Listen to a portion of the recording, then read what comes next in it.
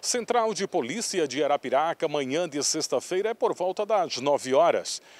Flagrante da recuperação de uma motocicleta Honda Bis no bairro Padre Antônio Lima Neto. Mas vamos rebobinar a história. Vamos voltar na quinta tarde, finalzinho, por volta das 17, 18 horas, uma viatura da RP fazia rondas pela Avenida Coronel Vicente Ramos e se deparou com essa motocicleta é, estacionada.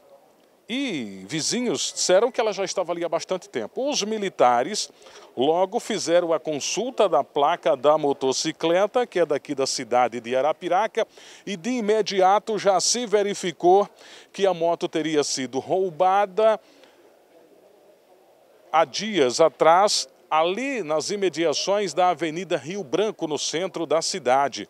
Possivelmente a moto estava estacionada e quando o proprietário ou a proprietária voltou para buscar a motocicleta, olha só, canto mais limpo, não tinha nada. E aí aquela surpresa, né? Você estaciona a sua motozinha para fazer o corre. Quando você volta, não está no lugar. Aí, caramba, que susto. Volta para casa a pé, tem um transtorno de fazer boletim de ocorrência, de acionar o seguro é uma série de coisas. Mas ainda bem que o trabalho ostensivo dos militares do terceiro batalhão tem feito com que algumas pessoas tenham um pouco mais de sorte, mesmo que esteja no seguro. Evita transtornos. E foi o caso do proprietário dessa motocicleta, que inclusive já foi comunicado da recuperação do seu bem e está vindo aqui para a central de polícia. Mas olha só, chave da residência e olha o tamanho do perigo. Você já imaginou se tem um papel, uma conta de água, uma conta de luz, que tem o endereço do proprietário, aí tem as chaves e o camarada vai lá para fazer uma limpa na residência.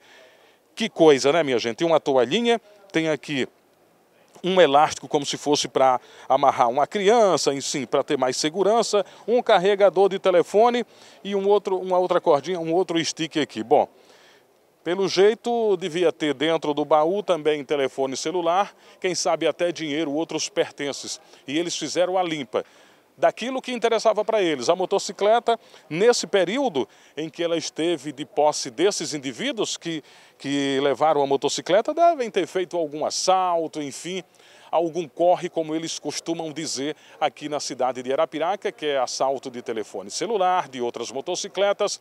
Por isso a importância, quando isso acontece, de você, proprietário de moto, de imediato procurar a central de polícia para fazer o boletim de ocorrência e deixar tudo registrado, porque depois a conta pode chegar na sua casa. Ah, essa moto foi utilizada em um assalto. E se você recupera e não faz esse procedimento, pode ter problemas futuros. Lógico que essa aqui, como foi recuperada pela polícia, Nesse momento, o procedimento está sendo feito aqui na central e esse flagrante, um dos primeiros da manhã de hoje, recuperação de motocicleta e, lógico, aqui a gente deixa os parabéns para o excelente trabalho da Polícia Militar que desenvolve as ações é, através do terceiro batalhão aqui no município arapiraquense e, logicamente, o trabalho que é feito aqui pelos delegados e policiais civis da Central de Polícia da cidade de Arapiraca. Hoje não, sexta-feira, plantão normal do delegado, enfim, qualquer coisa que venha a acontecer de anormal, flagrante, vai ter um delegado aqui para fazer todo o procedimento